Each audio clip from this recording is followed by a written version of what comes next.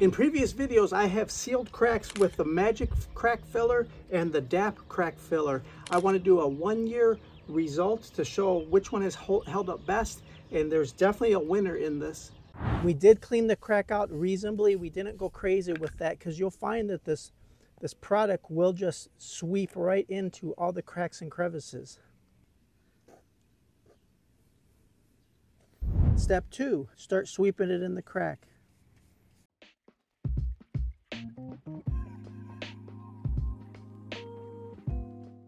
Future Larry here. This is 24 hours later. Testing how hard this concrete patch has cured, it's wonderful. It feels just as firm as the concrete and the color match is very good. There is an advantage over these dry polymeric concrete patches over the wet. The traditional wet concrete crack fillers, you have to sometimes grind the crack wider you have to be real careful with your application. These are much more forgiving. These are easier for a do-it-yourselfer to apply. Now here you simply want to work the product into the cracks and crevices. Okay, next you're just simply going to mist the crack. Start with just a misting bottle and then eventually you can come back with the garden hose. You could use like a metal straight edge you could use an old credit card, something like that, to um, sweep it into the crack as well. Okay, we're just going to work it into that joint. So I like to start really simple with a, a little mister. Um, you can eventually go to a garden hose. Hopefully you can see that the product is setting up very nicely.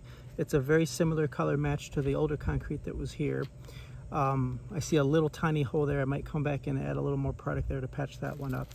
But this will cure very nicely and be an excellent patch. Both products are easy to install. Now, DAP has been around for a long time and they are a trusted name when it comes to sealants. Magic Crack Filler, I had never heard of this company. Now, on my research, both of them are essentially just polymeric sand that's color coded to match concrete and there's some kind of bonding agent. Although I will tell you, it looks like DAP has a better bonding agent and sealed better than Magic Crack Filler, and let's look at it. Okay, so both cracks, it has been over a year. This one is the DAP product. Now, it's harder than the other. I'll show you in a moment. Some weeds have grown up through it, so it does have some gaps that maybe we missed or it broke through. But like, look over here. It has definitely hardened and has filled the crack nicely.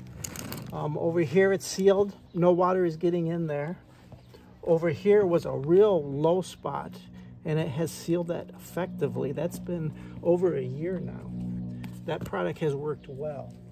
Now onto the crack with the Magic Crack Filler. If you look at it, the light color is where the powder just got into the grain, if you will, of the concrete. But we didn't have it last in the crack. Uh, after a few rainstorms in one winter season, it just completely washed out. There is no product left in the crack. It has not sealed it like the picture. I know sometimes it's hard to see in videos exactly what's going on in the, in the real world, but I'm telling you, if you look at it in the real world, the DAP product has worked, it has performed better, and it has held up over time.